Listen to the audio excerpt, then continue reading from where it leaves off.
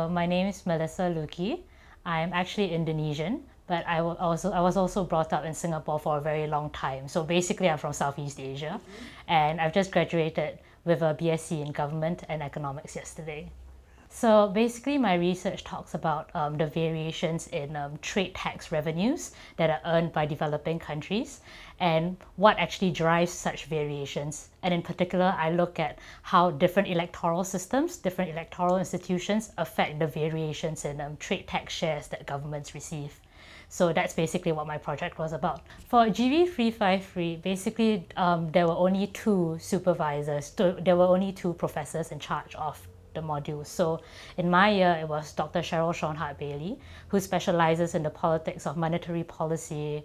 And the other one was Dr. Ryan Jablonski, who specializes uh, more in the politics of um, trade policy, particularly in developing countries like Africa. Eventually, he was the one who became my supervisor.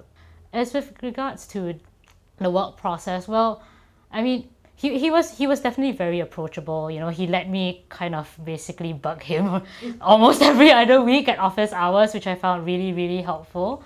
And he was very much willing to really entertain so many of my questions from how to do the literature review, what kind of statistical methods would be appropriate, and so on. And maybe in terms of what other, maybe what other authors should I be looking at, what are the alternative explanations I should be um, exploring alongside what I thought would be the right explanation for my area of interest. So yeah, it was it was actually a pretty fun process, and he, he was very very approachable, so that made it a lot a lot easier. The library staff gave us so much help because at the beginning of Lent term, as we were starting to actually embark on writing the dissertation, we had a few seminar sessions where staff from the library came down and taught us, you know, how to search for journal articles on, let's say, Summon or on IBSS and so on. And that definitely came in very helpful for literature reviews, finding other journal articles to get inspired by and so on.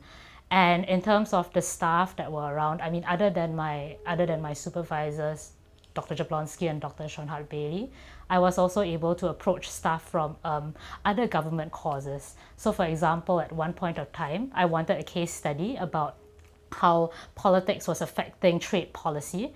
And it, it, just so happened that I was studying that in the context of Latin America in the 1990s in one of my other courses, Democracy and Democratization.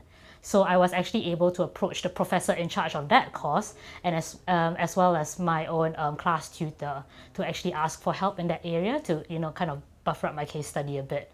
And even um, professors from professors and teachers from the economics department, because I conveniently have um, you know, a major in economics as well. So I could approach them to ask for help in, in terms of empirical methods of investigation, how to run regressions, and so on. They, um, the professors there were definitely very, very helpful. And there was also one thing uh, that I thought was, um, you know, that really benefited me. In so in the in my second year in summer, I attended LSE groups, and through that program, I actually learned a lot about the basics of research and how to write a research paper and that made it so much easier when I actually had to start writing my dissertation. So that really gave me the fundamentals to start. So yeah, there were a lot of resources that LSE actually gave me. So um, immediately after graduating, I'm returning to Singapore to work for the civil service. Um, yeah, so I'll be working um, with in, in the area of you know attracting economic investments and so on in the very near future. But further on, you know, further on, I hope to immerse myself back in research. Hopefully, undertake further study um, yeah, that would be a master's, possibly a PhD. we'll see how that goes. But yeah, and as with regards to which area of research I want to undertake, um, I have quite a few options, so I'm not too sure yet. But if I do decide to continue on this path of you know exploring economic policy issues in developing countries, I would also hope to be able to apply that to work in international organizations in the future alongside my research, just so that it would be useful for not just myself but also the broader community.